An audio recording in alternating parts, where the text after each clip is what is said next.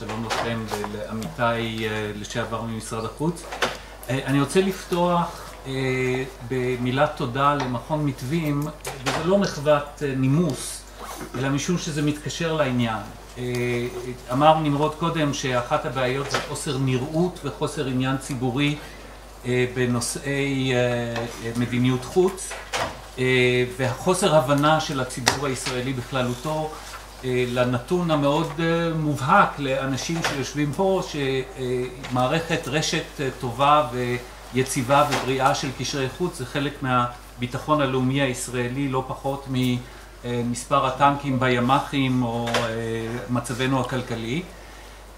ולכן העבודה של מכון מתווים, העבודה הספציפית הזאת, אבל גם באופן כללי, היא מאוד מאוד חשובה, כי אין למעשה בנוף הישראלי גופים מקצועיים, מחקריים, מחקריים יישומיים שעוסקים בצורה כל כך מעמיקה בנושא שירות החוץ ומדיניות החוץ ואני בטוח שגם נמרוד יסכים איתי שהוא ישמח שיהיו לו כמה גופים מתחרים שיעסקו בזה גם הם במטרה להעלות את רמת הדיון. אבל אני את השתיים שלוש דקות שלי רוצה להקדיש להמלצה אולי המרכזית שעלתה כבר בשעות הראשונות של הדיונים הממושכים שלנו וזה על סמך התובנה המאוד פשוטה והמאוד מצערת שלישראל יש משרד חוץ, שירות חוץ, ענייני חוץ, אינטרסים בחוץ, לפעמים אפילו הישגים בחוץ, אבל אין לה באופן מובהק מדיניות חוץ. פשוט אין לה, ואף פעם לא הייתה לה. אולי בשנים הראשונות כשהיעד המרכזי היה להשיג הכרה ממספר כמה שיותר גבוה של מדינות בעולם כמה שיותר מהר. זה נדמה לי הפעם האחרונה שלמדיניות החוץ הישראלית היה איזשהו יעד אסטרטגי. ולכן ההמלצה שלנו היא לנסות לשכפל את מה שאני חושב שאפשר להתייחס אליו כהצלחה של מערכת הביטחון כאשר השר לשעבר דן מרידור מתבקש לנסח בסיוע של מספר גדול של אנשי מקצוע תפיסת ביטחון לאומי. אנחנו סבורים שמן הראוי לנסות לייצר מסמך דומה בנושא מדיניות החוץ. באופן טבעי זה צריך ליפול לחיקה של ועדת החוץ והביטחון שהיא לא צריכה להכין את המסמך אבל היא צריכה לגייס את האנשים, את האישים שיעסקו בזה והיא צריכה להוביל את העניין.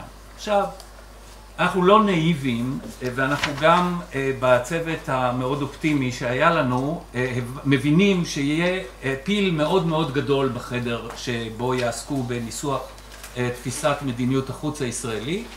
מה זה פיל? ממוטה.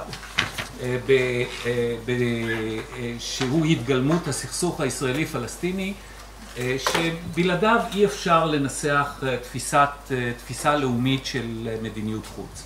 אבל אנחנו סבורים שאם למשל את הצוות שינסח את המסמך הזה יובילו שני אנשים בולטים, מוכרים, שמייצגים את שני הזרמים העיקריים בציבוריות הישראלית ביחס לסוגיה הזאת, אפשר יהיה להגיע לניסוח מספר יעדים אסטרטגיים למדיניות החוץ ארוכת טווח שיהיו מוסכמים גם עליהם אפילו אם הם לא מסכימים בדיוק על הדרך כיצד להגיע לשלום עם הפלסטינים ועם העולם הערבי ומה שישראל זקוקה, המטרה של מסמך כזה זה להציב יעדים ארוכי טווח, להגדיר מהם האינטרסים החיוניים של מדינת ישראל בתחום יחסי החוץ והרי יחסי חוץ נוגעים כמעט לכל תחום של חיינו וגם למקם את מדינת ישראל לעתיד בעוד עשר, עשרים, חמישים ומאה שנה במרחב הגלובלי וגם במרחב האזורי.